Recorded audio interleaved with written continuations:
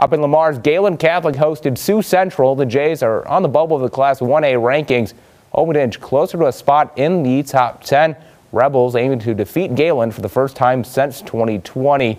Bottom of the first year, Jays with the runner on second base. Carter Kellen, the chopper back up the middle. Keaton Logan comes in around third base to score the run.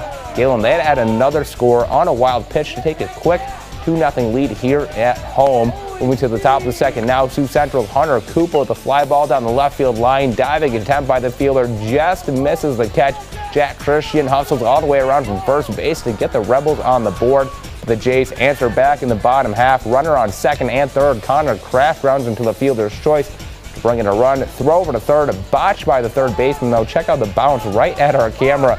Going to the dugout, bringing in Jackson Kramer for another run. Jays take a 4-1 lead going into the fourth. They'd lead the rest of the way. They'd go on to win it 12 to 1.